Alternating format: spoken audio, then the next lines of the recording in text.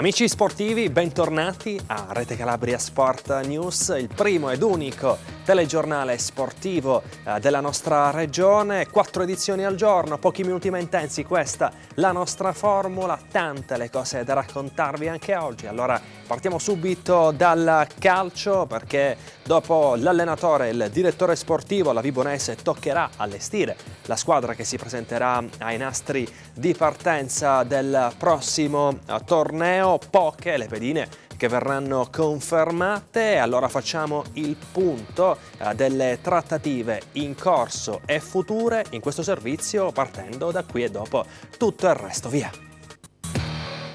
Allenatore, direttore sportivo, squadra e ripescaggio. Questo il programma stilato dalla Vibonese è già esecutivo. Preso l'allenatore si punta dritto al direttore sportivo, una figura che dovrebbe essere scelta la settimana prossima quando in città arriverà il tecnico rossoblu Gaetano Di Maria.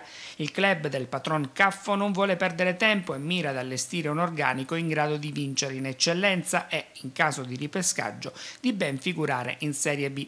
Il marchio di fabbrica di Di Maria è il 4312 con i quattro under obbligatori che probabilmente verranno piazzati tra i pali, le fasce laterali e il centrocampo. In porta, in caso di ripescaggio in Serie D, la Vibonese potrebbe affidare i pali a Mattia Pesche, che era classe 94 nell'ultima stagione in prestito al Brindisi, che vanta il diritto di riscatto da esercitare entro il 30 giugno, scontate invece le partenze di Riccardo Mengoni e di Gabriele Loccisano.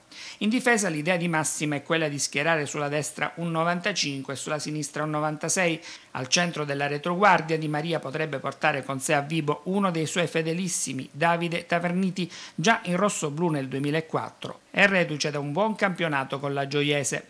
Alla dirigenza piace Luigi Manzo, classe 85, ex Savoia ed ex Gelbison, e nella lista dei possibili riconfermati figurano i nomi di Luca Calzolaio e Andrea Petta, via tutti gli altri. A centrocampo tra i fuoriquota il sogno è rinnovare il prestito di Carbonaro, idea fattibile solo in caso di ripescaggio in Serie D. Tra i 95 piace Trofo allicata nell'ultima stagione, ma di proprietà del Lecce. Di Maria avrebbe chiesto la riconferma di Cosenza e l'ingaggio di Lavrendi, altro suo fedelissimo e altro cavallo di ritorno a Vibo potrebbero rimanere anche Dadalt e Foderaro. L'attacco sarà con molta probabilità il reparto che subirà una rivoluzione. Si cercano un trequartista e due attaccanti. Uno potrebbe essere Diego Allegretti, classe 92 e quindi ancora vincolato alla Vibonese.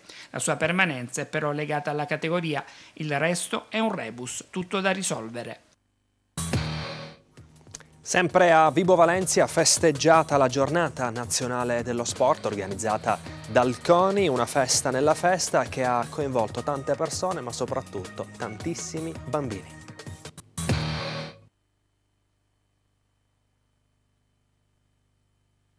Segnata dal sole e dal successo, la giornata nazionale dello sport organizzata dal Coni Point di Vibo Valencia, capitanato da Salvatore Mangone, una festa nella festa per l'organizzazione guidata da Giovanni Malagò che compie quest'anno i suoi primi 100 anni di attività. Un evento che a Vibo ha coinvolto parecchie società sportive del comprensorio, ma soprattutto tante persone comuni e tantissimi bambini, protagonisti assoluti dell'iniziativa, giunta alla sua undicesima edizione, lanciata in tutta Italia dal Comitato Olimpico Nazionale a fare da cornice alle attività ludico-sportive il parco urbano, una giornata contraddistinta da una mini maratona per le vie della città, senza vinti ma solo vincitori. Alla fine coppe e medaglie per tutti, un premio speciale ad Enzo Insardà, medaglia di bronzo al merito sportivo per il ventennale impegno profuso a Vibo e non solo.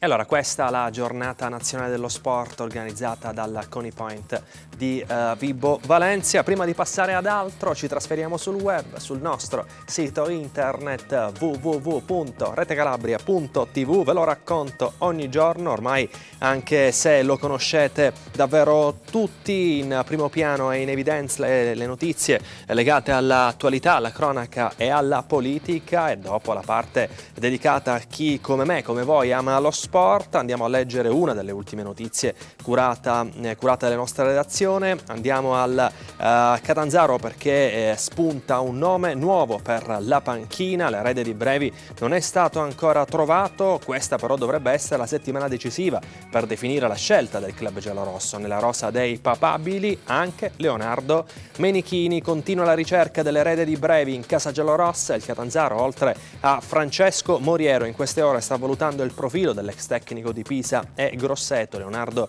Menichini. Sinora eh, ci sono stati contatti esplorativi fra le parti, ma il nome dell'ex vice di Mazzone è gradito anche alla tifoseria catanzarese per via del passato da calciatore nelle fila delle Aquile. Insomma, queste le ultime notizie eh, legate alla panchina del Catanzaro. Ve lo ricordo, allora www.retecalabria.tv se volete eh, seguirci non solo in tv ma anche dai vostri computer, telefonini come facciamo noi sui eh, portatili. Siamo adesso al bodybuilding. Vincenzo Montuori si conferma la massima espressione del culturismo calabrese. L'atleta di Vibo Valencia è stato incoronato vice campione nazionale della sua categoria. Chiamatelo King, il re o uomo d'acciaio. Il risultato non cambia. Vincenzo Montuori resta il numero uno del bodybuilding calabrese. Lo ha confermato ancora una volta nella più importante kermesse italiana di culturismo. Il torneo organizzato dalla federazione WABA andato in scena nei giorni scorsi a Catania. Un evento che ha incoronato il giovane vibonese vice campione nazionale nella sua categoria. Nato a Vibo Valencia 27 anni fa, Vincenzo ha fatto dell'arte pesistica che lanciò Arnold Schwarzenegger la sua filosofia di vita trasformando pesi, bilancieri e manubri nei più stretti compagni della propria esistenza. Qualità genetica e sacrificio hanno fatto il resto. Già, sacrificio. Parola d'ordine tra chi come lui rinnega la chimica, troppo spesso usata in questo sport, per un più sano ipersudore. La maggior parte della gente che viene in palestra, che vede un fisico palestrato, asciutto e tirato, secondo la maggior parte delle persone si può arrivare solo a quei livelli chimicamente. Però io posso ribadire che si possono arrivare agli ottimi risultati naturalmente e impegnandosi soprattutto alimentarmente. E dopo il titolo nazionale e regionale in soli cinque mesi che portano a sei trofei alzati in totale in sette anni, Montuori è pronto per altre sfide. Spero di riuscire a vincere, a vincere il The Best per qualificarmi per riuscire a fare il due torri a Bologna. The Best già è una gara assoverata dove ci sono atleti di buonissimo livello e vincere un The Best per aspirare a un due torri credo che sia il massimo. E con Vincenzo Montuori, vice campione nazionale del trofeo WABA, si chiude qui questa edizione eh, del nostro telegiornale sportivo. Grazie per averci preferito. Se volete ci rivediamo più tardi con altre notizie ed altri servizi sullo sport regionale firmato Rete Calabria. Buon proseguimento da Alessio Buonpasso.